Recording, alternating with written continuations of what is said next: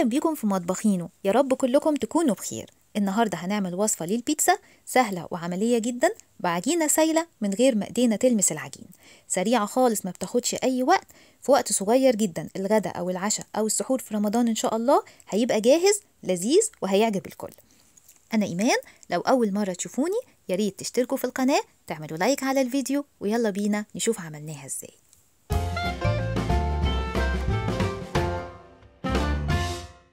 هنحط بقى في الأول معلقة صغيرة من الخميرة الفورية معلقة صغيرة من السكر نص كوباية من المية الدافية تبقى دافية يدوب خفيف قوي ما تبقاش سخنة 125 ملي هنقلبهم مع بعض كويس قوي عشان السكر والخميرة يدوبوا في المية.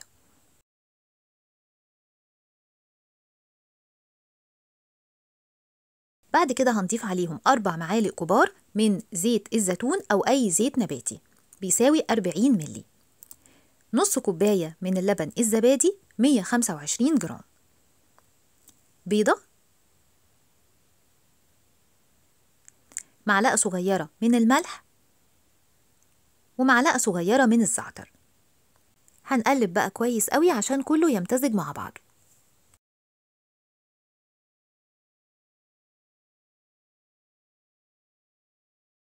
هنحط عليهم بقى معلقة صغيرة من الخل.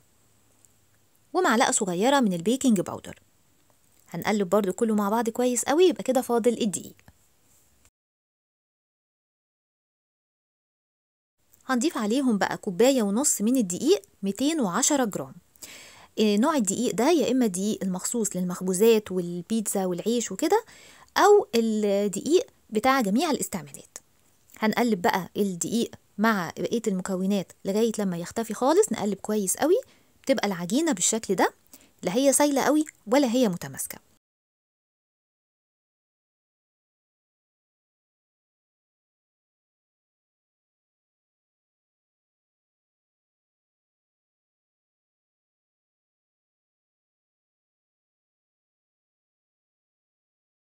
هنجيب بقى صينية الفرن مقاس 28 سنتي وممكن كمان تنفع معها 30 سنتي. هنحط فيها معلقة أو معلقتين من زيت الزيتون أو أي زيت نباتي. نوزعه كويس قوي. وبعد كده هنحط العجينة وهنوزعها ونسويها بحيث تبقى كلها بسوى واحد.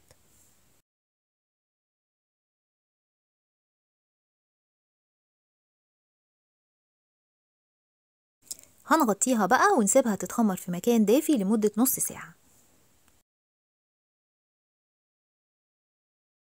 كده بعد ما عدت النص ساعة هنجيب بقى الحشوة اللي هنحشيها بيها. الأساس طبعا إن إحنا هنحط جبنة موتزاريلا دي أول حاجة. هنحط شوية كده من الجبنة الموتزاريلا. هنوزعها على وشها كويس.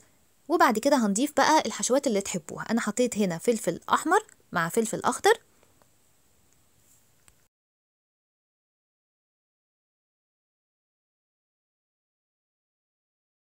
وقطع من الزيتون الأسود والزيتون الأخضر. ممكن بقى أي حشوة تحبوها ممكن تحطوها. يعني أنا مثلا استعملت هنا السوسيس ممكن تستعملوا بداله البسطرمة أو التونة أو لحمة مفرومة متعصجة قطع من الفراخ كده متقطعة صغير آه قطع من اللحمة متقطعة صغير شاورما أي حاجة. المهم إن إحنا هنحط الحشوة اللي إحنا عايزينها وبعد كده هنحط قطع شوية كده صغيرة من البصل وبعدين هنحط بقى نوع جبنة تاني. أنا حطيت هنا آه جبنة شيدر وزعتها برضو على الوش. في بقى عندنا هنا في الآخر خالص فص صغير قوي من التوم المفروم وعليهم معلقتين ثلاثة كبار من زيت الزيتون وهنوزعهم على وش البيتزا. ممكن الاستغناء عن فص التوم لو أنتم ما بتحبوش التوم وممكن ان إحنا نحط الزيت لوحده. هنوزع بقى الزيت كويس على الوش وبعدين هندخلها فرن سخن على حرارة 180 درجة في الرف اللي في النص لمدة نص ساعة. هتطلع بقى من الفرن هنقدمها على طول وهي سخنة كده بتبقى جميلة ريحة وطعم وفي منتهى الجمال. وزي ما شفتوا سهلة خالص وأي حشوة ممكن تعملوها. في وقت صغير خالص الغدا أو العشاء أو حتى السحور هيبقى جاهز. يا رب يكون عجبكم الفيديو وهستنى تقولولي رأيكم في التعليقات. وأشوفكم إن شاء الله في الفيديو الجاي.